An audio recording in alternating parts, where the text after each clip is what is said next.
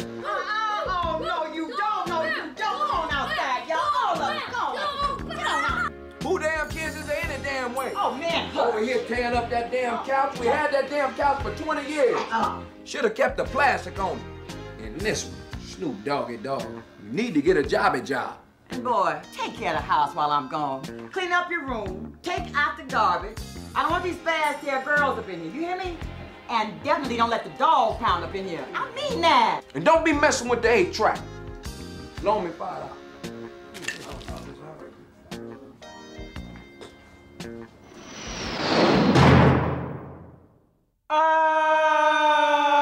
With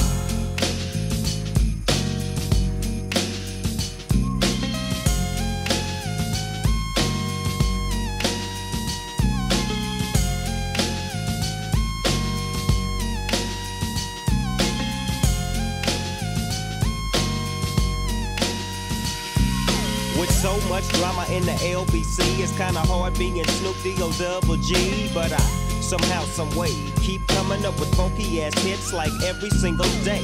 May I kick a little something for the G's and make a few ends as I breeze through. Two in the morning and the party still jumping cause my mama ain't home. I got some freaks in the living room getting it on and ain't leaving till six in the, morning. So what you wanna do? Hmm. I got a pocket full of rubbers and my homeboys do too. So turn off the lights and close the doors. But but what? We don't love them now. Yeah. So we gon' blow up to this. G's up, freeze up for a second now. Bounce to this.